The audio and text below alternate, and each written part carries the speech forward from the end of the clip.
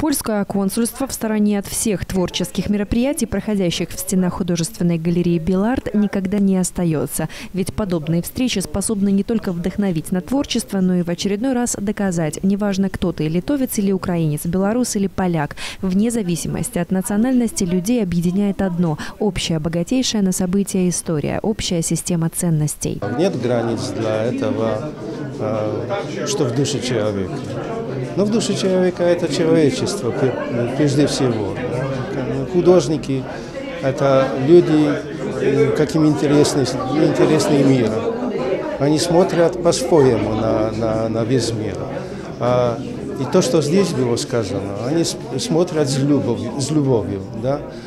а, когда ты смотришь с любовью, все двери открываются. Социальное и культурное наследие – вот то, на чем всегда строился и сегодня развивается белорусско-польский диалог. Выставка имеет своеобразное название «25». Выбрано оно не случайно. Дело в том, что наше товарищество в этом году отметило 25-летний юбилей.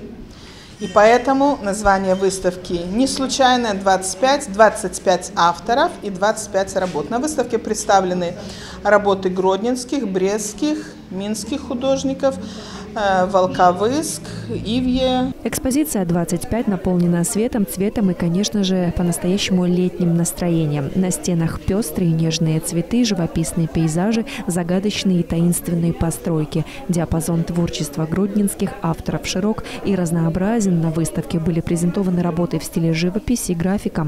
Каждый мой новый проект, он просто продиктован совершенно разной энергией, которую я хочу просто рассказать, о которой я хочу рассказать людям. И поэтому они все, может быть, стилистически разные. Нет, даже не может быть, а очень стилистически разные.